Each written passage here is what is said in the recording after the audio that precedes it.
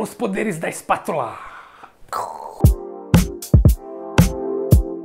E aí, meus amigos e amigas, mais um episódio aqui de sobremesas, delícia, rapidinha, fáceis. Não posso encher muito o prato, senão vai cair a calda, mas é um pudim de doce de leite com três ingredientes. Vamos lá!